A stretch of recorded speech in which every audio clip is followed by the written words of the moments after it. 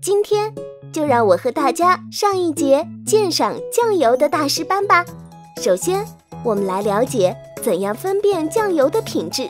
大家一定要记得这四个重点：色、香、味、体。顶级的酱油带有浅红褐色，富有光泽，闻起来会有股浓郁的纸香和黄豆的鲜香，还有微微的酒香哦，味道咸中带鲜。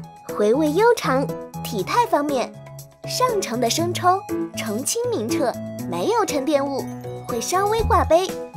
成分也决定酱油的品质，要知道有什么成分，就要看招纸喽。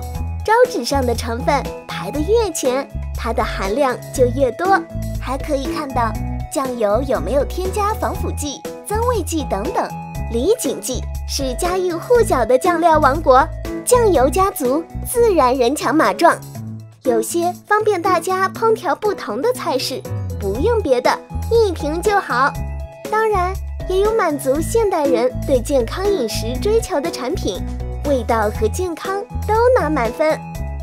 今天是我从李锦记学堂毕业的大日子，经过李锦记学堂悉心和严格的教导，我终于蜕变成上等的酱油。